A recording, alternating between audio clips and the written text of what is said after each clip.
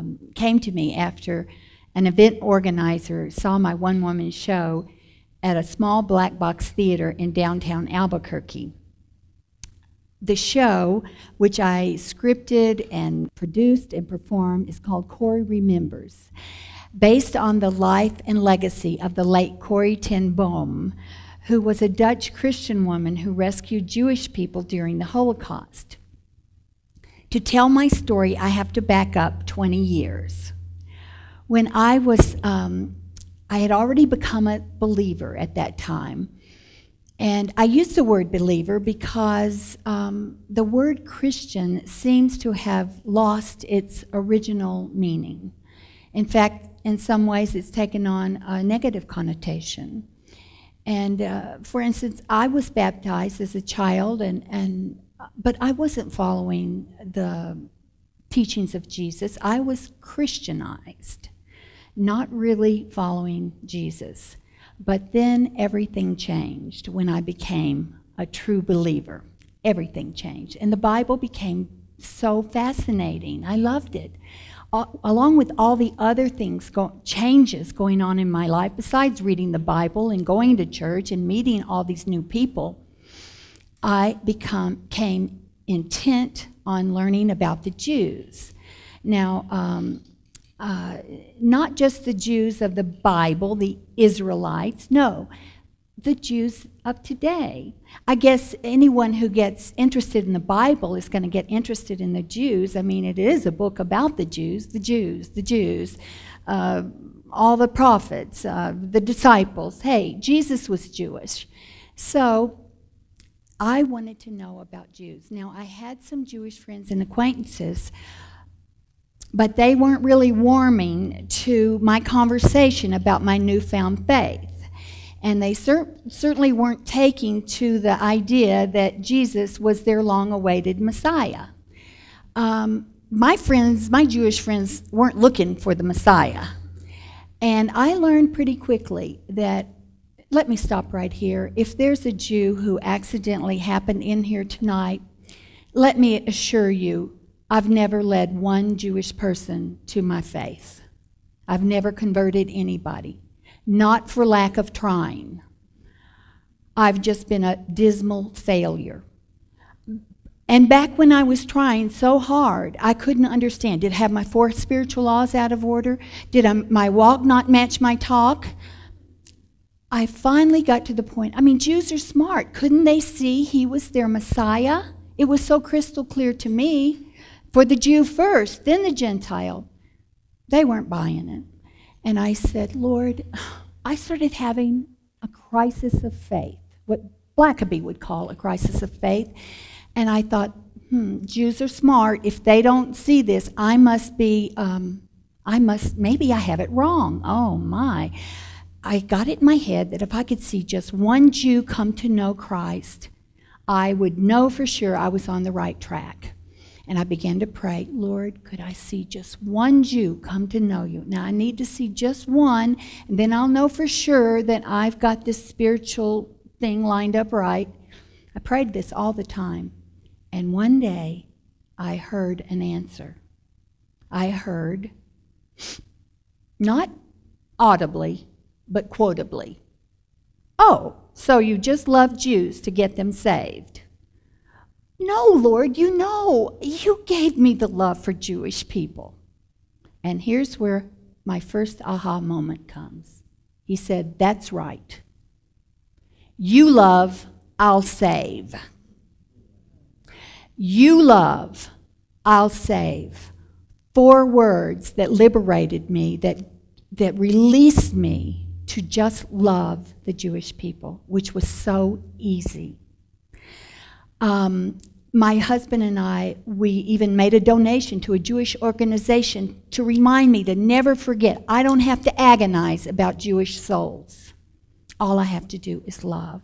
In time, we started an organization that we called Yad Bayad. Now, that's Hebrew for hand in hand and it was aimed to bring Christians and Jews together so that we could get to know each other without trying to proselytize each other and, and just uh, learn the things we have in common, learn about the Jewish history, the faith, the land of Israel. doing this, and this was in the 1990s, was kind of a risky thing to do. It's very novel back then, trying to bring evangelical Christians together with Jews. I mean, let's face it, we sit on opposite sides of the table on many very controversial issues.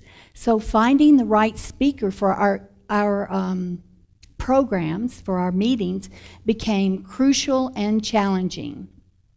For one meeting, though, we had this wonderful actress in town, and she portrayed the late Golda Meir.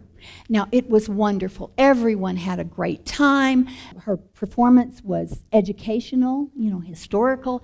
And I got the idea that if I could convince that actress to portray Corrie ten Boom, we could have another great meeting. And so I collected all the books I could find about Corrie ten Boom and took this woman to lunch and laid out my plan for her life. She was wonderful listener, and she, she, I thought I had her. I mean, she was so engaged in our conversation, and I was going, ka-ching, ka-ching, she's going to do it. And she said, yes, this woman's story must be portrayed. But, my dear, I'm Jewish. A Jew could never play this role. This role demands a Christian who loves the Jewish people. She said, Honey, this is your role. I said, Oh, I could never play Corrie ten Boom. I have no acting background. I have no public speaking background. I mean, I listed all the reasons why not, and she just waved them all away. She said, I'll teach you to act. No. She's, then she tapped my chest. She said, I can teach you to act, honey, but a Jewish heart, that's God given, and you have it. I left the meeting pretty crestfallen. And on my way home, I'm driving, I'm saying, oh, me play Corrie ten Boom. And again, reviewed the whole list of reasons I could never do this. And at the end of it, I said, and I'm too tall. Now, I didn't know how tall Corrie ten Boom was, but her picture looked so much like my grandmother, and my grandmother's short, so she had to be short. So I go in the house with all the books that I had planned for the actress to take, lay them down on the table, make another lunch. I do that when overeat when I'm down. I open a book. It jumped off the page at me. Corrie ten Boom was five seven. I'm five seven.